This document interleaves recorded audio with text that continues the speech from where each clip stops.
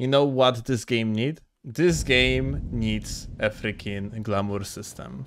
Not sure if you guys, for example, played uh, Final Fantasy 14 or just like seen the game uh, and how particular mechanics works like in, in that one. You can have whatever outfit you want. Like you can use any given armor set, armor piece, like any sort of the costume that is available in the game and whatever, without your stats being affected. In the case of Elden Ring, you would have this uh, armor set that I currently have, but uh, visually, visually, uh, I would have had different armor pieces on me. And you know, like, technically counting poise is something that uh, that probably would be important, I would say. Yeah, that's that's that's correct. So, like, obviously having like a different uh, armor pieces displayed uh, is working against the competitive integrity, but you could do it so the glamour is displayed only for you, for an example. Or like you could give the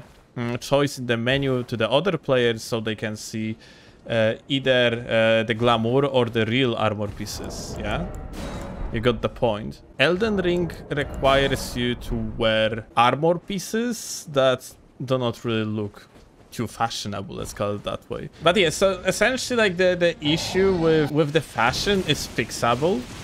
It's just that it would require, that you know, a new system, yeah? Though. Everybody would just run deathbed smalls. The, the thing like armor painting and so on, like, essentially what would be nice is that if From Software would acknowledge that the fashion souls is something that people actually really enjoy.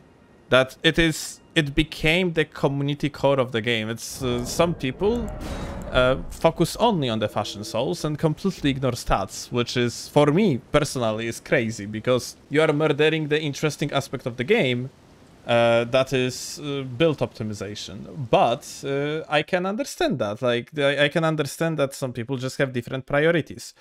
And uh, I would love if they could enjoy the game to the fullest by having like very cool armor looking uh, setups and uh, still being able to uh, to optimize the builds so they do not have to you know sacrifice one for another Fashion Souls is the true Souls experience. That's actually the case. Some people have that approach. Some people, like, even though it is absurd, it's some people run, for example, 8 absorption and uh, uh, 0 poise, and they are entering the game like that. And, well, huge respect to them but uh, they are like they they could simply have both worlds as long as if if the developers would take into the account that something like fashion souls essentially exist yeah